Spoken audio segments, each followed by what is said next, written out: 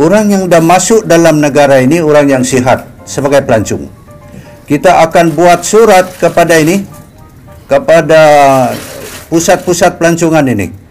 You know, don't stop, please don't stop the um, tourists visiting tempat-tempat yang penting yang perlu atau yang nak dilawati oleh pelancong-pelancong ini. You know, it's no good. It's total, totally wrong. Kita nak halang orang sihat nak melawat di dalam negara kita. What all these things, you know? But uh, is that not a method, me- method of precaution to prevent the situation from getting worse? How could you say that is a matter of uh, precaution, uh, you know, to, so that it won't getting worse? They are in this country, dia orang dah cek, dia orang ini orang sihat.